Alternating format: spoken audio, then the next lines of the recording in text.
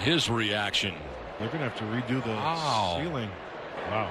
Against Alfaro, he had given up a base hit and a walk, so not happy about being pulled from this game. No, you know what? Um, the old look away and then putting the ball on like a stand for the manager.